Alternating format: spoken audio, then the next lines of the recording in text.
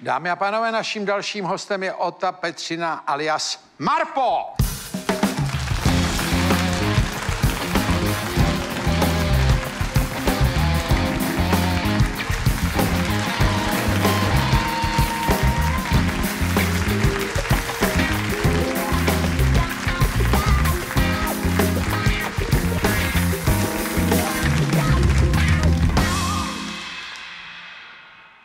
Můžu vám říkat Marpo nebo Oto? Jak chcete.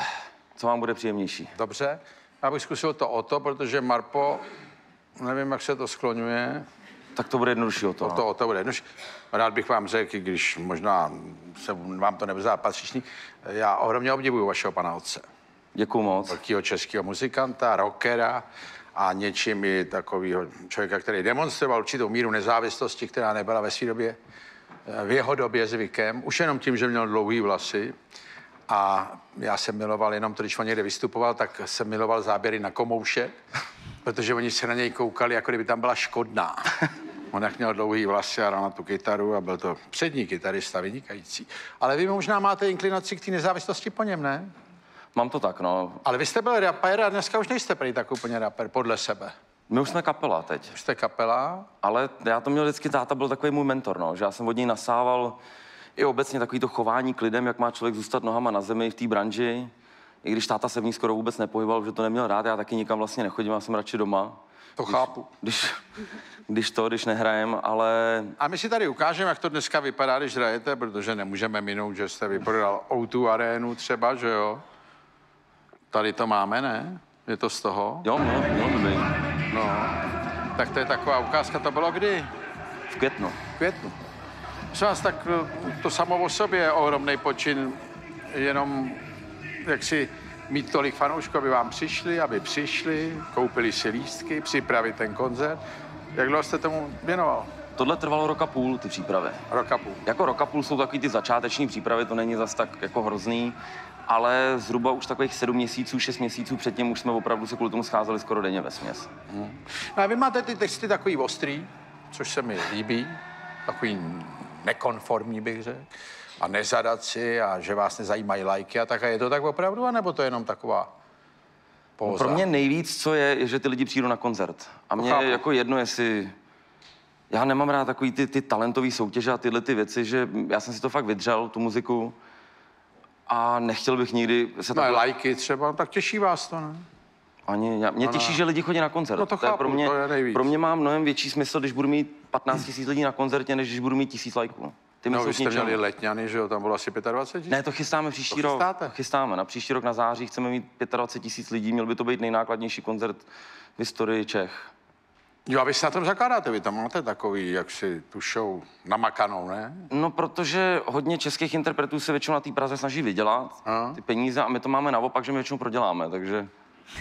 No počkejte, jako, jak se projevuje to, že chtějí vydělat, jako že šetřejí na něče? No tak ono se říká, že muzikantsky, že tam dáte dvě bedny na klacku, pódium, nějakou letku a je hotovo, že? A my se snažíme fakt tu show udělat úplně jinak, snažíme se inspirovat hodně světem, mít to opravdu hmm. jako jiný, než je zvykem v Čechách jo, nebo šidit to tomu diváku, ono to stojí peníze, takže pak se samozřejmě tolik neviděl. Ale já jsem koukal, vy teda uh, tam řádíte ohromně při tom koncertě, ale vy jste na to vybavený, protože vy jste vlastně ohromný sportovec taky, že jo? Sportu od malička. Boxer? Jsem, já jsem hrál závodně házenou původně, hmm. pak jsem se odstěhoval tam, kde jsme byli, bydleli a teď vlastně od nějakých 18 let boxu. A vy děláte i tajský box? Tajský box. A vy jste v tom nějaký hodně dobrý, že jo? Ne, já byl průměrný. Bych a v boxu? V tom ne, to já nemám ještě ani žádný zápas boxu, to budu mít teď první v prosinci. Vy se budete mlátit s rytmusem, že jo? No, je to tak. Tam možná budou i mrtví. Je to možný. Protože rytmus trénuje asi dva roky, ne? Nebo jak dlouho? Myslím, že nějak tak je, je hobbyk, no. Jo, čili v ringu byl už? Hm, ne, nestal v ringu ještě. Ještě ne. Mm-mm. Mm, no tak. Musíte být ohleduplný, ne? Právě, že já nejsem, když Nejste? Mm. Aha, Bítovo? No tak nejdeme hrát golf, tak já doufám, že to ví, no. No. No tak, co neví předtím, potom už vědět nebude určitě. Je taky pravda. To je jedno, ne, ale v něčem jste hrozně dobrý, jsem čet někde, nebo... Já jsem byl, no právě, že v tom tajském boxe byl hrozně dobrý na klinče, což je takový to objímání a házení na zem a na lokty. Já mám dva knockouty loktem, takže v tom jsem byl podle mě... A ten tajský box je takový to, jak se může dělat cokoliv, ne? Ne, ne, ne, to je MMA, to je takový to i na zemi, to je v té kleci. Tajský box je nejtvrdší ringový sport a tam se může kolenama na hlavu i loktama.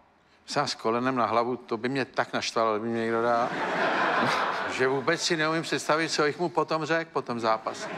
Právě, že byste mu toho moc neřekl, no. To... Většinou ty, knok, ty knockouty probíhají tak, já ho naštěstí... Pardon, Terezo, abyste se nepotrhala. Jak ne... Úplně. Beer and me, Heleno. A řeknete, že mě někdo prokop hlavu, tak jste šťastná. No. No ne, ale tak eh, to je hrozný, tenhle sport, mně to trošku přijde. Tím, speciálně třeba kolenem do čela, nebo tak to je hrozný. Není, není to moc příjemný, no. A dostal jste někdy? Jo, dostal. I loktem jo. několikrát. No ale tak a co potom? Mě by to rozuřilo, a už pak bych jako ho mydlil hlava nehlava. No, jako většinou to tak je, že mi to moc jako, jako že bych měl přátelskou pak náladu, to úplně ne. No ještě, abyste byla Že bychom se jako plásli, jako to bylo super. Mám prorazenou spodinu, ale dobrý tady. No, a e, s tím vaším posledem, tak vy jste začínal s těma raperskýma textama. Ano. Víte co, takhle. Podívejte, u nás my to máme, nebo my, tak to dneska je, že je ten svět těch mladých, kteří sledují rapery a YouTube a tak dále. A pak jsou ty televizní diváci, to nemyslím tyhle, to jsou ty, co chodí do divadla, to jsou nejlepší ze všech. Ale televizně ty to třeba neznají. Tak jak byste jim to vysvětlil, ten váš postup z toho rapera, raper, jak byste to řekl? Je to úplně jednoduchý. Rapper většinou hraje jenom s DJem, což je vlastně CDčko, a ten to pouští všechny ty základy, tu muziku. A rapper do toho říká své A do toho většinou jenom rapuje, což je vlastně, že jenom mluví. A my máme i zpívaný refrény, že i zpíváme a máme celou kapelu, takže hrajeme vlastně v sestavě tři vokály, DJ, basa, kytara a bicí. Bicí. No ale vy sám jste taky tak jako se přesunul z toho rapování do toho, že jste vlastně už dneska normální kapela, ne? No to je právě, já jsem vždycky chtěl dělat muziku, ale třeba i dřív, protože nešlo zaplatit tu kapelu, že jsme hráli za pár korun, mm. tak to bylo takový jako náročný, hráli jsme ve čtyřech vlastně, vlastně zadarmo spoustu let, než jsme si to právě vyhráli, než začali chodit ty lidi a teď máme kapelu a právě to je ono, že když slyšela máma moji novou desku, tak říkala, že konečně by táta na to by byl pišný. No a teďko v prosinci, nebo kdy to budete mít s tím? 27. prosince. A jak se na to přišli, že se jako utkáte? My jsme se potkali na jednom gala večeru, MMA právě, a nějak jsme si s Patrikem podali ruku a přišel tam ten promotér toho večera a jen tak ze strany řekl jako, co kdybyste si spolu dali zápas? Já jsem říkal, hele, v judu, v karate, mě to jedno, v čem chceš. Jsem to bral tak jako ze srandy. A mně přijde, že Patrikovi se trošku protočili dolary ve, ve očích a, a pak, pak mi 14 dní na to vlastně vyzval jakože zápas najednou. No a to by mohly být prachy in memoriam. To je pravda. Mu to ponesou pak na takovém tom... no dobře, ale tak byste si domluvili, že si dáte mač jako box. Ano. Normální box, klasický? Klasický box. Jo. No není to neregulární? Když on to nedělal. Nebo on trénuje to, ale... Jo, trénuje tak jako on asi trénuje dva půl roku, podle mě, nebo nějak no. tak dva roky, dva půl roku, věnuje se tomu hodně, jsem si jo. všimnul ale podle mě on furt neví, co to je vlíz do toho ringu, no. že to pak ta tréma udělá, jako všichni furt tvrdí, vy jste zvyklí na lidi, že hrajete jako před lidmi na koncertě, že na koncertě člověk dostane přes držku, že jo. Takhle, někdy jo, ale není to tak častý.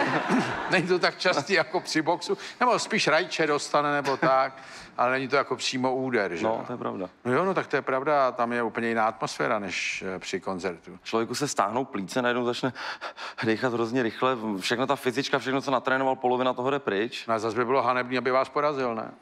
No, to, to je pravda. To bych byl nerad. A vy na to budete trénovat nějak? Já už trénuju. Jo, vy už trénujete, jo. Já už jsem začal teď od září jako naplno, protože nemá smysl se připravovat na zápas rok. To nejde ani vydržet třeba dvoufázově trénovat dvakrát denně, to je nesmysl. Vy trénujete dvoufázově? Většinou, jo. Jako tak vy jste to dělal, tak on je v nevýhodě, on chudák. Já jsem byl více mistr republiky v tom no. a nějakých šestý na Evropě. Jste byl šestý v Evropě, jo? A budete nám mlátit tady člověka, který to dělá dva roky. A tak je zase ze Slovenska, tak je to aspoň taky jako, že jo. že to je 50-50 jako... No. Že on sem přijde jako národní favorit za Slovensko. No, no, no. A dostane tady od českého favorita trošku. Jo, a to je takový nový trend, že se tady teď budou zpěváci takhle si dávat ještě v ringu, protože ta doba to nese. Jo, teď je to hodně populární sport, že mi přijde, že spousta jako herců a, a muzikantů jo. se na, na to dá. Jo, já si spíš čtu. To je taky hezký. Ale...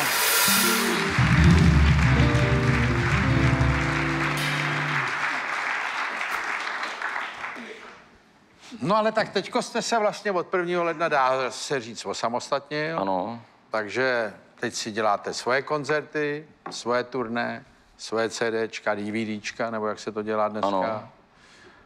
A máte svůj koncepty dál? Já mám vždycky takovou jako trojroční plán. Jo. A když se daří, tak, tak pak vymyslím další. A teď už to máte na tři roky? Máme ty letňany na 2019 a když se podaří, tak bychom chtěli 2020 udělat Eden nebo Strahov. Jestli Strahov nezbourají teda. No a pak už jste u Bran Wembley. No to nevím teda, ale já vždycky říkám, že v nevím, jak jsem to říkal, lepší mířit na hvězdy, než na kupu sraček a pak skončit v nich, že jo?